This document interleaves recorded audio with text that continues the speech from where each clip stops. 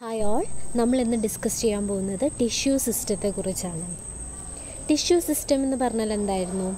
In a plant body several similar tissues organise to form tissue systems for a specific functions നമ്മൾ പറഞ്ഞു ഒരുപോലെയുള്ള tissues നമ്മൾ പറഞ്ഞു basic unit എന്ന് പറയുന്നത് സെല്ലാണ് ഒരു കൂട്ടം സെല്ലുകൾ കൂടി ചേർന്നാണ് ടിഷ്യൂസ് ഉണ്ടാവുന്നത്.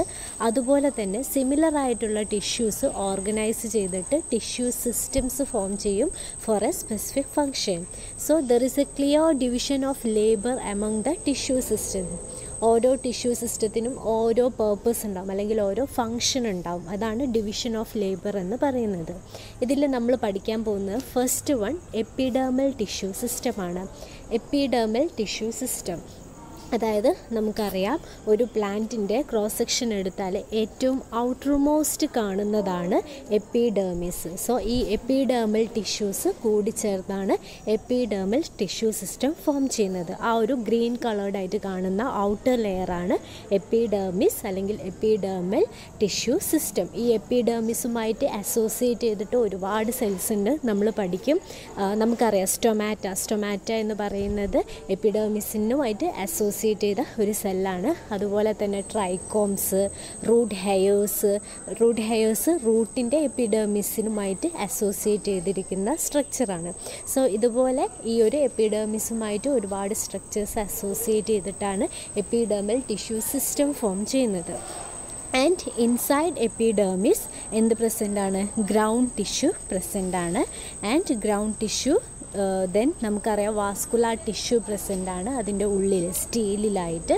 സോ ഇത്രയ്ക്കുമാണ് നമ്മളൊരു ഔട്ട്ലൈൻ നോക്കുവാണെങ്കിൽ പറയാനുള്ളത്. അതിൽ നമുക്ക് ഫസ്റ്റ് എപ്പിഡേമൽ ടിഷ്യൂ സിസ്റ്റം എന്താണെന്ന് പഠിക്കാം.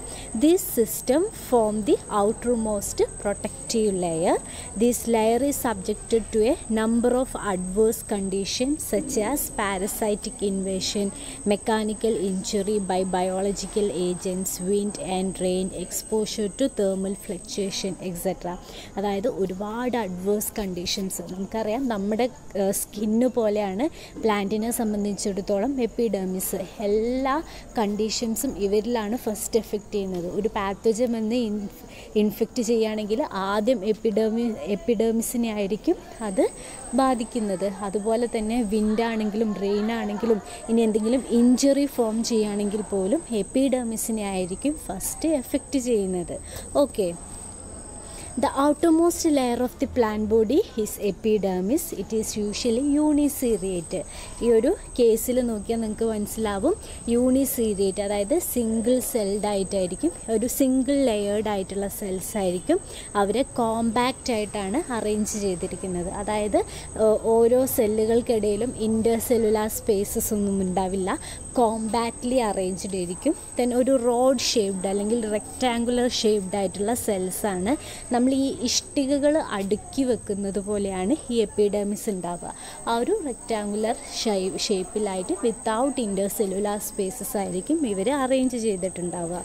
ഓക്കെ സോ നമ്മൾ പറഞ്ഞു യൂഷ്വലി യൂണിസീറിയറ്റ് ആയിരിക്കും but in some cases multiseriate or multiple epidermis may be seen എക്സാമ്പിളാണ് ലീവ്സ് ഓഫ് ഫൈക്കസ് അതുപോലെ നീറിയം ഇതിലൊക്കെ അങ്ങനെയാണ്. നീറിയം എന്ന് പറയുന്നത് അരളിച്ചെടിയാണ്. Then epidermal cells are parenchymatous and compactly arranged without intercellular spaces. They appear more or less rectangular in cross section.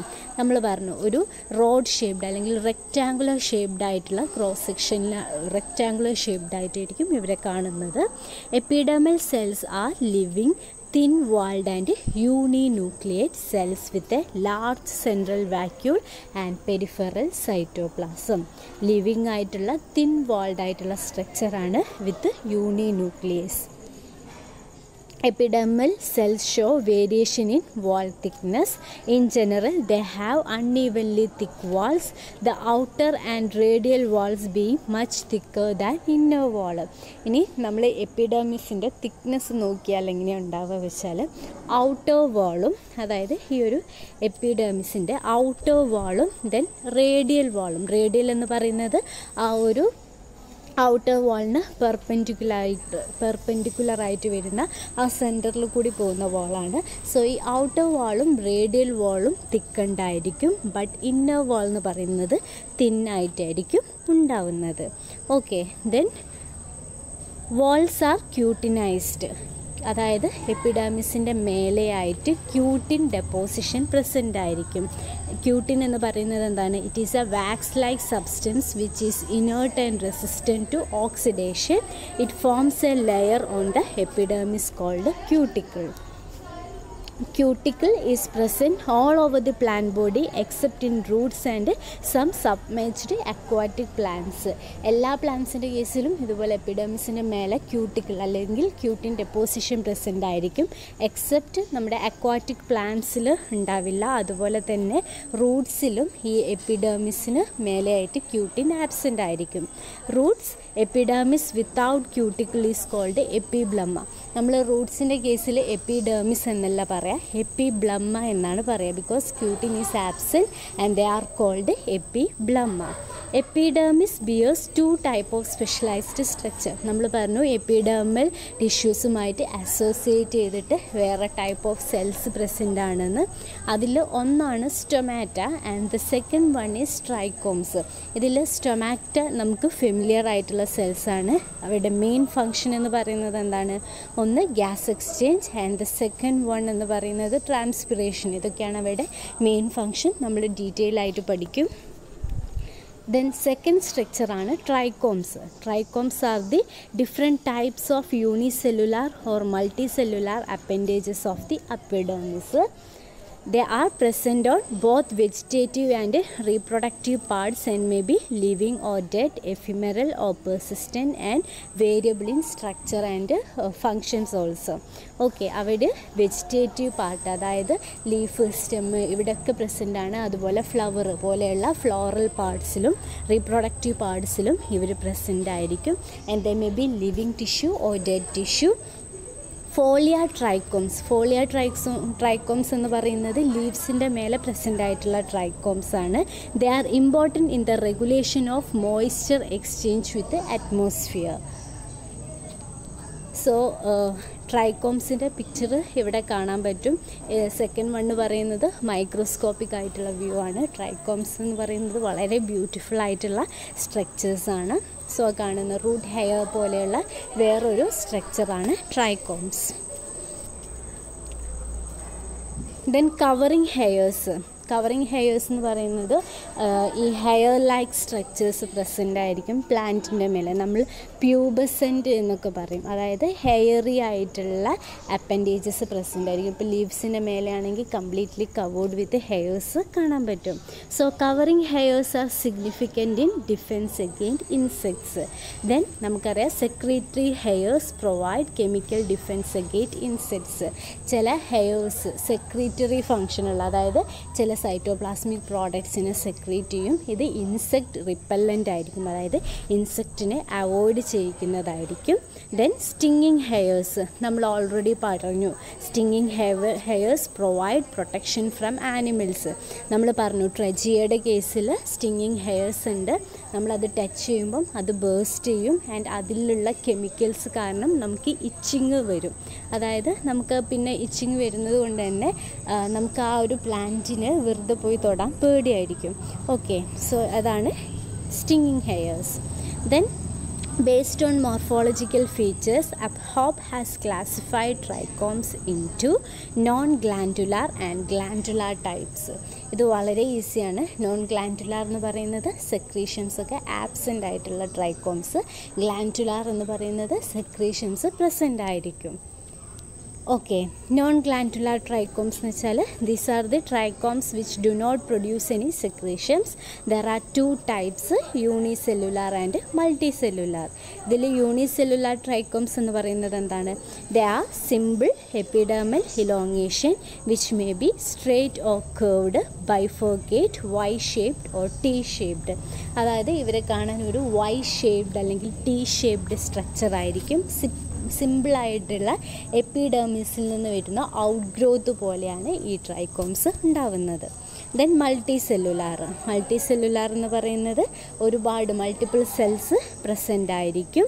They may be branched or unbranched consisting of a multiple consisting of a single row of cells or several row of cells just ഇങ്ങനെ ആലോചിക്കുക. Glands ഈ trichomes may be unicellular or multicellular then glandular trichomes അതായത് ഇവർ ഈ ട്രൈക്കോംസിന് എന്തെങ്കിലും secretions produce ചെയ്യുന്നുണ്ടെങ്കിൽ അതിനെയാണ് glandular trichomes എന്ന് പറയുന്നത്. These include unicellular or multicellular trichomes which secrete a sticky substance the simplest one are the stigmatic papillae which are epidermal extensions ഇതിനൊരു എക്സാമ്പിളാണ് stigmatic papillae Insectivorous plants have digestive glands which are another type of glandular trichomes. നമ്മൾ insectivorous plants അതായത് pitcher പ്ലാന്റ്സിന്റെ ഒക്കെ കേസിൽ പറഞ്ഞു അവരുടെ leaves modify ചെയ്തിട്ട് ഒരു ഫ്ലാസ്ക് ലൈക്ക് സ്ട്രക്ചർ ഉണ്ടാവും വിത്ത് ലിഡ് അതായത് ഇൻസെക്റ്റിനെ ട്രാപ്പ് ചെയ്യാൻ വേണ്ടിയിട്ടാണ്.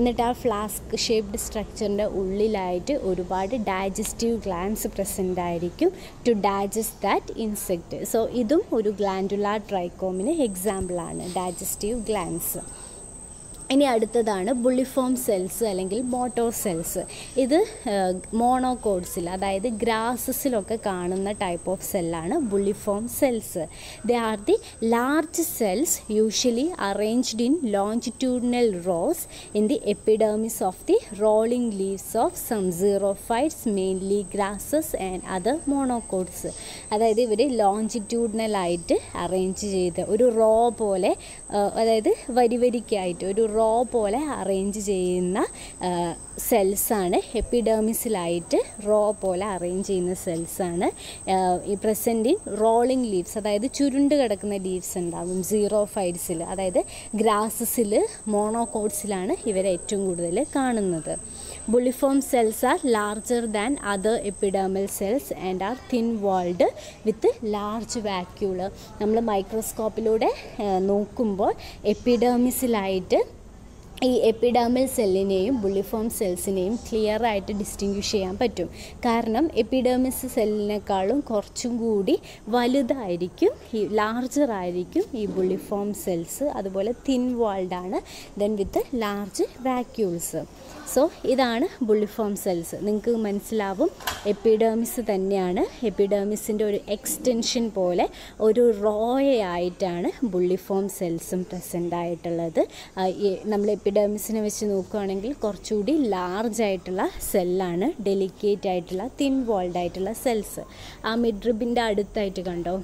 അതായത് എപ്പിഡേമിസുമായിട്ട് നമുക്ക് ക്ലിയർ ആയിട്ട് ചെയ്യാൻ പറ്റും ബുള്ളിഫോം സെൽസിനെ They may occupy the entire adaxial leaf epidermis or form isolated parallel strips in the area between the veins.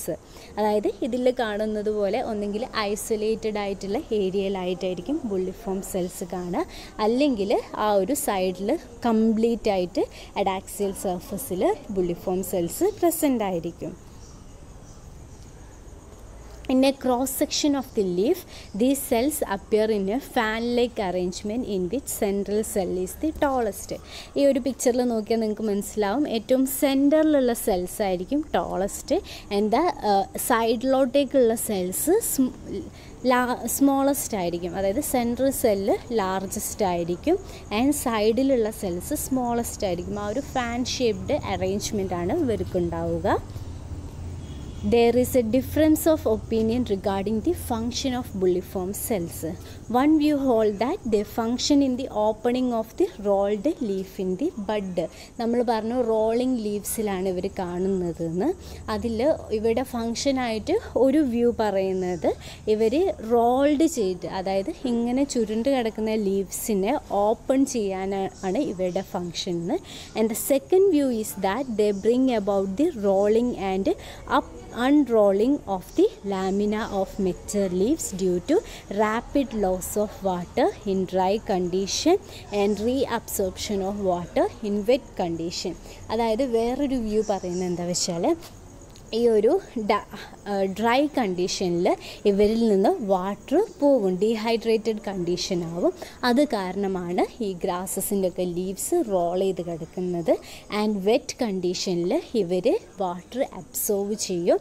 And അത് കാരണമാണ് ഈ ഒരു റോളിങ് അൺറോൾ ചെയ്യുന്നത് ഗ്രാസസിന്റെ ലീവ്സിന്റെ അൺറോൾ ചെയ്യുന്നത് ലീവ്സ് എന്നാണ് പറയുന്നത്.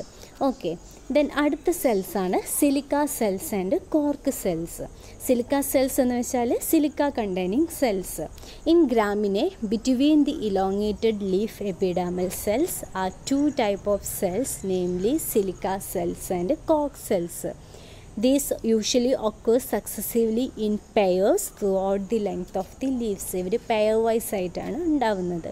Fully developed silica cells contain silica bodies which are isotropic masses of silica usually with minute granules in the centre അതായത് silica സെൻ സിലിക്ക സെൽസ് എന്ന് പറയുന്നത് ദേ കണ്ടെയ്ൻ സിലിക്ക ബോഡീസ് അവരുടെ അവരിൽ സിലിക്ക ബോഡീസ് പ്രസന്റ് ആയിരിക്കും.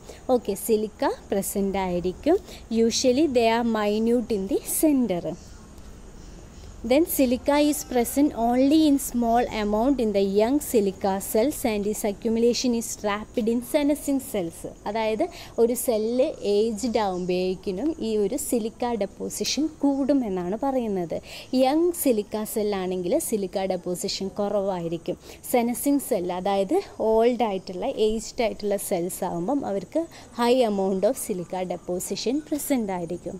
The walls of coke cells are impregnated with suberin and many of them contain solid organic substance അതായത് അടുത്തത് coke cells ആണ് പറയുന്നത്. അവരുടെ കോക്ക് സെൽസ് എന്ന് പറയുമ്പം അവരുടെ cell wall is impregnated with suberin suberin എന്ന് പറയുന്നത് വാട്ടർ റെസിസ്റ്റന്റ് ആയിട്ടുള്ള ഒരു മോളിക്യൂളാണ് ആൻഡ് ഇൻ മെനി പാ in many plants coke cells contain silica bodies okay so ഇതാണ് സിലിക്ക സെൽസ് ആൻഡ് കോക്ക് സെൽസ്